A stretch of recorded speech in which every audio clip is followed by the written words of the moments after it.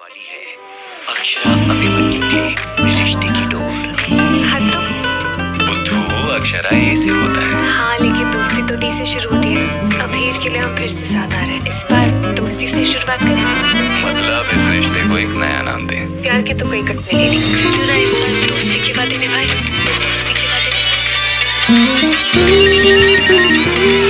Hello? Akshara तुम्हारी blood reports तो ठीक है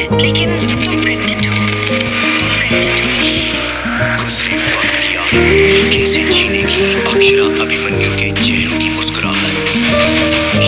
कहलाता है। सोमवार से रविवार रात साढ़े नौ बजे, स्टार प्लस और डिज्नी प्लस हॉटस्टार।